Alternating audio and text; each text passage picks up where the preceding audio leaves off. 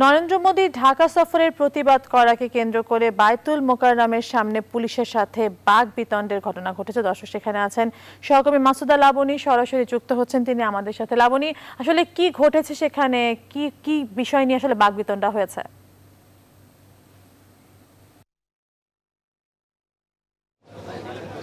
তাবাসুম আসলে এখন থেকে ঠিক পনেরো বিশ মিনিট আগে কিন্তু বাইতুল মোকারম মসজিদে, আজকে যেহেতু জুমাবার, বাইতুল মোকারম মসজিদের ভেতরে কোনো ব্যানারে নয় যারা ছিলেন, অবস্থান করছিলেন, তারা কিন্তু যে নরেন্দ্র মোদী যেহেতু বাংলাদেশে এসেছেন স্বাধীনতার সুবর্ণ জয়ন্তী বঙ্গবন্ধু শেখ মুজিবুর রহমানের জন্ম শতবার্ষিকীর অনুষ্ঠান মালা যোগদান করার জন্য, এটির বিপক্ষে কিন্তু তারা স্লোগান দিচ্ছিল এবং ভেতরে মারামারি ঘটনা ঘটেছে, আসলে কে কাকে মেরেছে সে বিষয়টি এখনও স্পষ্ট নয় এবং আমি দেখেছি যে চার পাঁচজনকে এখান থেকে রক্তাক্ত অবস্থায় পুলিশ ধরে নিয়ে গেছে, এখন থেকে প্রায় দশ মিনিট আগে এবং এখানে কিন্তু আমি যদি আপনাকে দেখাই যে অনেকেই আছেন এবং পুলিশ ভেতরে বাইতুল মোকারমের ভেতরে অনেক পুলিশ অবস্থান করছেন এবং এছাড়াও কিন্তু বাইতুল মোকারমের দিকে যারা আসছেন তাদেরকে কিন্তু চেক করে এই দিকে, এই এলাকায় ঢুকতে দেওয়া হচ্ছে। এছাড়া কিন্তু কাউকে ঢুকতে দেওয়া হচ্ছে না। অর্থাৎ বাইতুল মোকারমের আশেপাশে কিন্তু